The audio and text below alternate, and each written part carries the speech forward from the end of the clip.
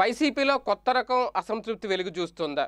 తాజా పరిస్థితులు చూస్తుంటే అవునని అంటున్నారు కొంతమంది రాజకీయ విశ్లేషకులు. ఎందుకంటే ఎప్పటి నుంచో పార్టీ కోసం కష్టపడిన వాళ్ళని జగన్మోహన్ రెడ్డి గారు పక్కన పెట్టేశారా అనేది కొంతమంది పెదవి విరుస్తున్న పరిస్థితి. ఇక్కడ తాజాగా వెలుగులోకి వస్తున్న అంశం ఏంటి అంటే ప్రజల మధ్య తిరుగుతున్న వాళ్ళు ఎవరైతే ఉన్నారో ప్రజలతో మొదటి నుంచి పార్టీ జెండా మోసిన వాళ్ళు ఎవరైతే ఉన్నారో వాళ్ళకి సరైన గుర్తింపు దొరక దక్కట్లేదు అనేది. అంటే ఇక్కడ ఒక రకంగా చెప్పాలంటే ఏదో అంటారు కదా కాని వారికి కంచాల్లోనూ అయిన వారికి ఆకుల్లో పెట్టారు అన్నట్టుగా జగన్మోహన్ రెడ్డి గారి నిర్ణయాలు ఉన్నాయి అనేది. అంటే అసంతృప్తులు అనేది పెరిగిపోతున్న మాట వాస్తవమే ఎప్పటికప్పుడు పెరిగిపోతానో అన్నారు.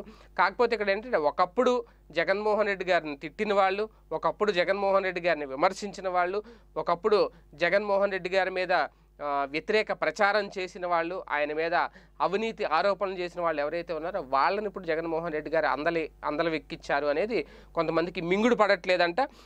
అంటే తాజాగా కొంతమంది పేర్లు కూడా చెప్తున్నారు. ప్రస్తుతం మంత్రులుగా ఉన్న కన్నబాబు కానివ్వండి బొత్స సత్యనారాయణ గారు కానివ్వండి తానేటి వనిత శ్రీ రంగనాథరాజు వెల్లంపల్లి శ్రీనివాసు అవన్ శ్రీనివాసు ఆదిమూలపు సురేష్ వీళ్ళందరూ కూడా. వీళ్ళందరి పేర్లు ఇప్పుడు తెర మీదకి వస్తారు ఒకప్పుడు వీళ్ళ జగన్మోహన్ రెడ్డి గారు విమర్శించిన వాళ్ళే. వీళ్ళందరూ ఇప్పుడు మంచి పొజిషన్లో ఉన్నారు.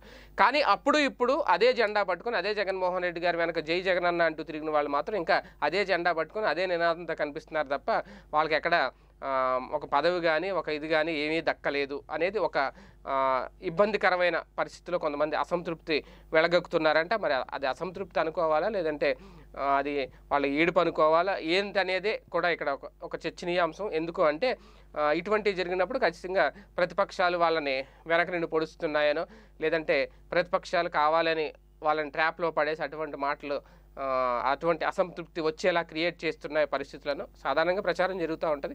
అందుకే జగన్మోహన్ రెడ్డి గారు తీసుకునే నిర్ణయాల మీద సొంత పార్టీలో కొంతమంది అదే అసంతృప్తులుగా ఉన్న వాళ్ళు ఎవరైతే ఉన్నారో వాళ్ళ ఏడుపు పెరిగిపోయిందా అనేది కూడా. అంటే ఇక్కడ వాళ్ళు అనుకునేది ఏంటంటే జగన్ గారిని నమ్ముకున్న వాళ్ళు పార్టీ కోసం శ్రమించిన వాళ్ళని పక్కన పెట్టారా అనేది విమర్శలు. కానీ అదే టైంలో నందిగం నందిగాం సురేష్ గారు కానీ లేదంటే మాధవి గారు కానీ ఎంపీలు అయిన వాళ్ళు వీళ్ళందరినీ చూస్తుంటే మరి వాళ్ళందరూ జగన్ గారు నమ్ముకుని ఉన్న వాళ్ళే. వాళ్ళకి అవకాశాలు ఇచ్చారు. ఇప్పుడు క్యాబినెట్లో ఉన్న వాళ్ళందరూ కూడా అంతే.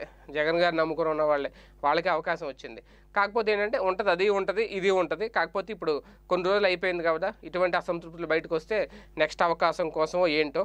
కాకపోతే ఏంటి అంటే ఎవరు కూడా అంటే ఇప్పటికైనా జగన్మోహన్ రెడ్డి గారు ఎవరు తనకు గతంలో అండగా ఉన్నారు ఎవరు వచ్చే సంవత్సరాల్లో తనకు అనుకూలంగా రాజకీయం చేస్తారు ఎవరు అవకాశవాదంగా వ్యవహరిస్తారు అనే విషయాన్ని గుర్తించుకోవాలి అనేది సోషల్ మీడియాలో ఒక ప్రచారం అయితే చేస్తున్నారంట ఈ అసంతృప్తులంతా.